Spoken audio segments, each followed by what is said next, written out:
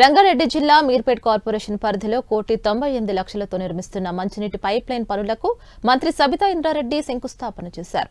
మీర్పేట్ చౌరాస్తా నుండి జిల్లెళ్ళగూడ ప్రాంత గ్రామం ఈ పైప్ లైన్ పనులు జరుగుతున్నాయి. ఎన్నో సంవత్సరాలుగా ఎదురు చూస్తున్న మంచినీటి సమస్య పరిష్కారం చేసినందుకు గ్రామస్తులు మంత్రికి కృతజ్ఞతలు తెలిపారు. పైప్ లైన్ పనులు త్వరగా పూర్తి చేసి ప్రజలకు మంచినీటి సౌకర్యాన్ని అందించాలని మంత్రి అధికారులను ఆదేశించారు. ఈ కార్యక్రమంలో మేయర్ డిప్యూటీ మేయర్ కార్పొరేటర్లు సంబంధిత అధికారులు పాల్గొన్నారు.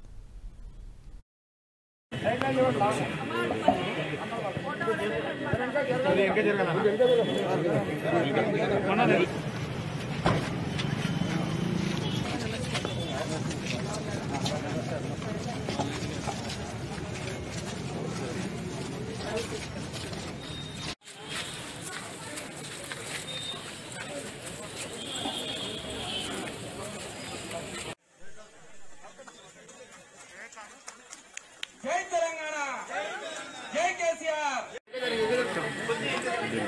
ఇంకా దీపావళి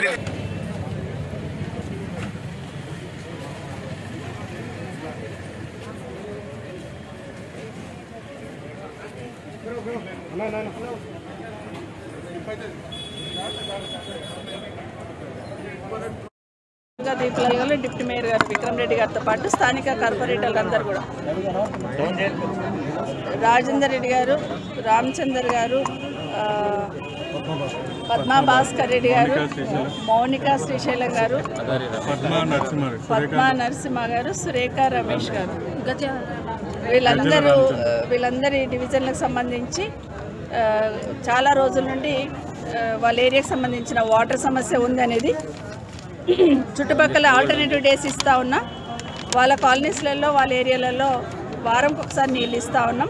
ఆ సమస్య పరిష్కారం కావాలనుకుంటున్నప్పుడు కొంత కార్పొరేషన్ ఫండ్స్ తీసుకొని బోర్డు నుండి కొంత తీసుకొని ఈరోజు ఆ కాలనీస్ అన్నిటి కూడా నీళ్ళు అందించాలనే సంకల్పంలో ఆ మెయిన్ లైన్ వేసుకొస్తే ఒక మూడు కిలోమీటర్లకు సంబంధించిన మెయిన్ లైన్ వేసుకొస్తే వీళ్ళందరూ కూడా ఆల్టర్నేటివ్ నీళ్ళు డేస్లో నీళ్ళు ఇవ్వచ్చు అనే ఆలోచనతో ఈరోజు రెండు కోట్ల సభగా